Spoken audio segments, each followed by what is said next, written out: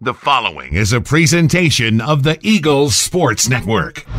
On the Eagles Sports Network, I'm Tanner Swift alongside Lisa Postma, who's just been named Swimmer of the Week by the Bluegrass Mountain Conference for her swims against D1 opponents in the UT Midseason Invitational over the weekend. And Lisa, how does it feel to get recognized nationally uh, for swimming against some of the best uh, swimmers in the nation?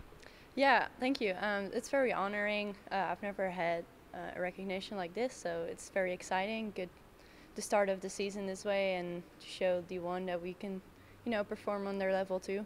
I know talking to Jordan that you guys were really training for this. It was one of the bigger events y'all were looking forward to all season. What were your main goals, both in your medleys and individual swims going into the weekend?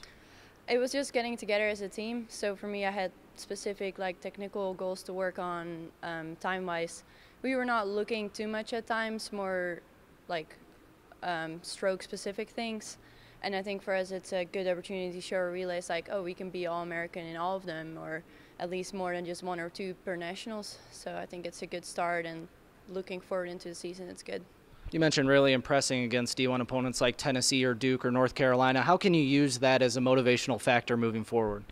I think the level of competition was very high, and so in order for us to step up at this level, it will be easier for us to step up during conference or nationals where the level is also going to be high, but maybe not at this level. So since we've been able to do this, I think we can definitely do conference and nationals good too.